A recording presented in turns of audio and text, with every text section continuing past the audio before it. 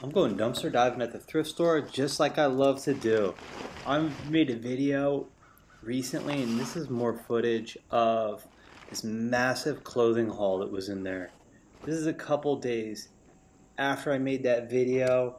Got a nice little North North Face fleecy with a big old stain on it. I gotta see if I can clean it. Oh, look at this fancy stuff everywhere in there. Keep digging.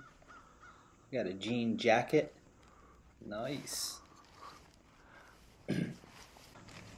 it's just an absolute ton of clothing that got dumped in there. There's a nice little fuzzy little hoodie. There's Tinkerbell down there. I don't know what happened.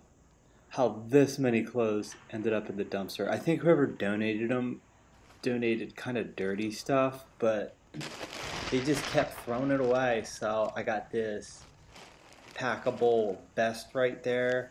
I gotta look carefully at that because it's white. It might have stains or general nastiness on it, but I took that.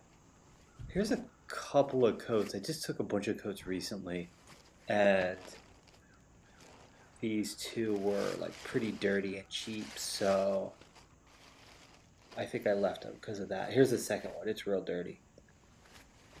Planet Earth brand. I've never heard of that, but it looked nice. I don't know. I hit the thrift store a couple days on this video, and then I go to Dollar General at the end. Here's a camo Jordan hoodie for kids. It's back to school time. Somebody's gonna love getting that. I'm donating that. I think this. I like old school maps like this. Very cool. I think that frame is homemade. Look at it with those brackets. I think somebody just whipped that up, printed out a little picture. Very nice. I think it got some water damage, so I left it. Oh, this is a great find for myself. These are nice running shorts. They have that built-in lining, which is basically like underwear, so I wash them a couple times first. But they're perfectly fine. Well, I mean, they have cigarette burn holes in them. Somebody was running and smoking at the same time. At least I like to think that, but they're comfy. I run, run around them a few times. They're good to go. It's hard to dumpster dive stuff in your size. I don't know what to do with this silver crap.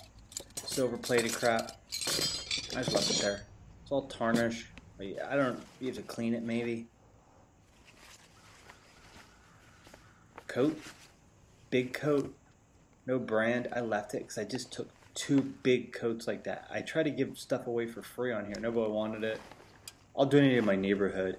I might wait a few weeks for it to get colder, then people take things more seriously. Oh, look in the background. The cops rolled up on me. Yeesh. I got the heck out of there in this video and had to go out my emergency exit, basically crawling through the woods, which I haven't done in a few months. And the weeds grew up a lot, and I got scratched to heck on my legs everywhere because I had shorts on. There's me scurrying out, hopping a fence like a criminal. Jaggedy metal everywhere, logs rolling on me, jaggers trying to jag me. and I got a good bit of footage of that. No cops are running through the parking lot after me. That's good.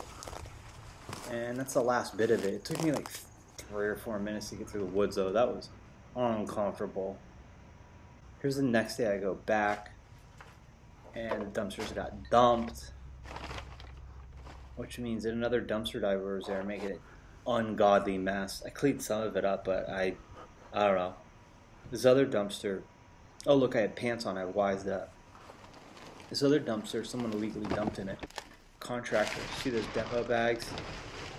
Big rugs everywhere. what a bunch of losers. You need to demo a whole house and then bring the trash to Goodwill. Hope Goodwill's open and legally dump it there. Just rent a dumpster, losers. I got one Jordan. I'm gonna get knock it too. It's probably under the demo stuff. Oh, and I'm gonna end this video, the last minute or so, by going to Dollar General, aka DG Market, to see how much stuff they throw away. I like when they throw away. Oh, that's definitely no good. Brown bananas. Ton of them. I think, someone correct me if I'm wrong, but I think once lettuce has been chopped, it needs to be refrigerated.